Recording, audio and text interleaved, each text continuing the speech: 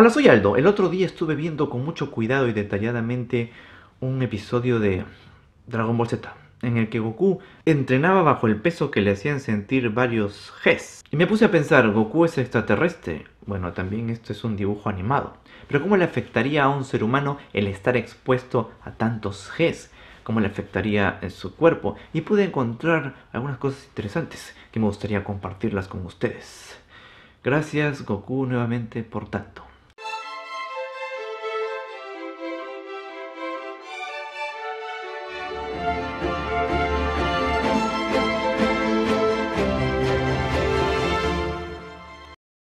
El cuerpo humano puede soportar velocidades grandes siempre y cuando éstas sean constantes. Podemos viajar en un avión y en un tren sin siquiera sentirlo.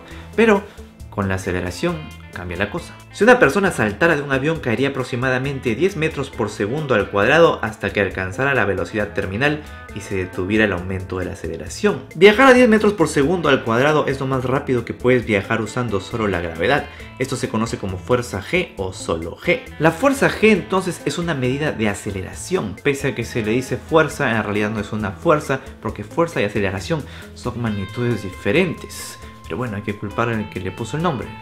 Búsquenlo ahí. Cuanto más Gs experimentes, más peso parecerá sentir sobre tu cuerpo. El cuerpo necesita mantener 22 milímetros de mercurio en la presión arterial para mover la sangre de tu corazón al cerebro. Por si acaso, milímetros de mercurio es una unidad de medida de presión de fluidos. No vayan a pensar que su sangre tiene mercurio. Esta medida se multiplica con cada G agregado a tu velocidad. Entonces, si viajaras a 2G, se duplicaría a 44 milímetros de mercurio. Si viajas a más, entonces tu cerebro tendrá más problemas para recibir sangre y mantenerte consciente.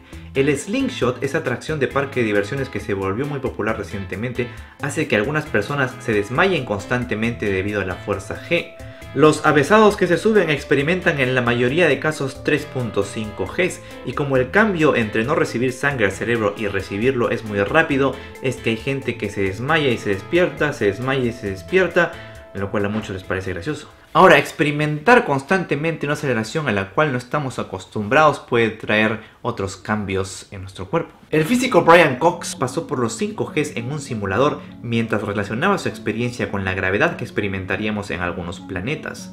En 2G le costaba un poco mover la mano, pero en 5G su vista se nubló, no podía mover ningún brazo, Sentía su cabeza muy pesada y como pueden ver los cambios físicos son bastante notables. ¿Qué tanto te puede afectar la aceleración? ¿Qué tanto puedes tolerarla? Depende de muchos factores. Uno de ellos es el tiempo, el tiempo al que estés expuesto. Otro también es la dirección en la cual está incidiendo en tu cuerpo, tu postura, la magnitud las fuerzas G a las que son sometidos los pilotos de prueba normalmente son verticales e inciden en el eje de su columna vertebral.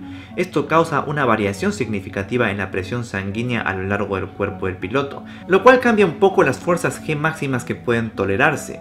Normalmente los pilotos experimentan Gs positivos o hacia arriba. La resistencia de una persona a esta aceleración es mayor, pero igual varía dependiendo de la persona. En este caso la sangre se dirige hacia los pies ya sea estés parado o sentado. Mediante la combinación de trajes especiales y esfuerzos para tensar los músculos, ya que ambos actúan para obligar a la sangre a regresar al cerebro, los pilotos modernos generalmente pueden manejar un sostenido 9G. Los astronautas normalmente experimentan un máximo de 3G durante los lanzamientos de los cohetes y están entrenados para soportar esas aceleraciones durante bastante tiempo. Un piloto no entrenado expuesto a aceleraciones mayores de 5G podría tener algunos problemas en los ojos y en el cerebro. A medida que aumenta progresivamente la fuerza G positiva vertical se pueden experimentar síntomas como pérdida del matiz de la visión o incluso pérdida temporal de la visión, pérdida de conciencia y si las fuerzas G no se reducen rápidamente pueden producir también la muerte. Y es que el cuerpo humano es muy flexible y deformable, una bofetada en la cara en un punto focalizado puede producir cientos de Gs, sí, cientos de Gs, pero no lo sientes mucho porque está solamente allí.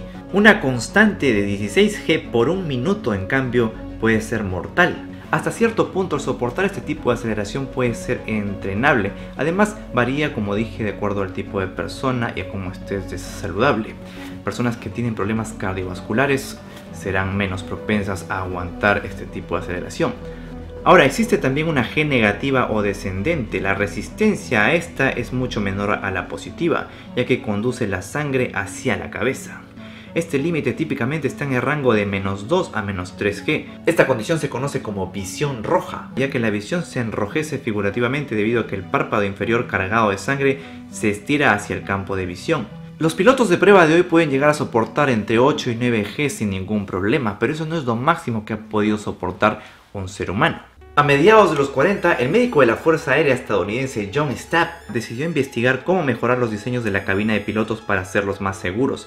Desarrolló un trineo impulsado por cohete que corría a lo largo de una pista, como un tren. Stapp probó el vehículo consigo mismo y experimentó 35 Gs y sobrevivió. Luego pasó a desarrollar el Sonic Wind en la década de 1950 que lo aceleró a 1017 km por hora en menos de 5 segundos. Luego se detuvo en solo un segundo, lo que hizo que su cuerpo experimentara brevemente 46.2 G. No se murió, pero sí recibió un daño temporal en la vista y algunos moretones. Después de todo, la experiencia fue como recibir casi 3 toneladas y media en su cuerpo. Pero esa no fue la fuerza G registrada más alta experimentada por un ser humano que sobrevivió.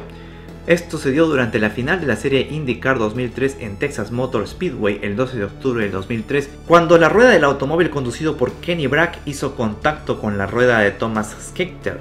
Esto resultó inmediatamente que el automóvil de Brack impactara una cerca que registraría un pico de 214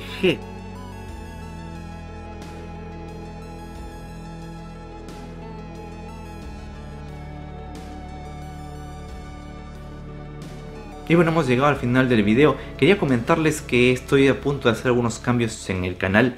Quienes me siguen en redes sociales ya lo saben porque hice unas encuestas allí. Si gustan pueden todavía participar, me parece, en la de YouTube, si no es muy tarde. Pero eh, la mayoría parece coincidir en que es necesario un cambio.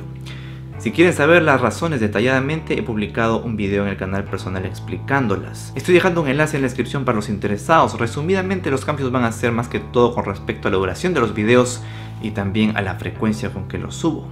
Va a haber videos de noticias en el canal Robotitus, pero no se asusten, estos cambios van a ser de a pocos y a ver qué tal van. Ah, a los Patreons también les he publicado un video más detallado aún. Eh, está en la página de Patreon explicándoles todo por qué estamos haciendo esto y los proyectos futuros también que se vienen. Ahora sí, me voy. Cuéntanos acá abajo en los comentarios si alguna vez has experimentado estas fuerzas G. Si es que te has subido a una montaña rusa, te has desmayado o si has estado en slingshot y te han grabado gritando como loco. Por mí eso ha sido todo. Gracias por ver este video y hasta la próxima.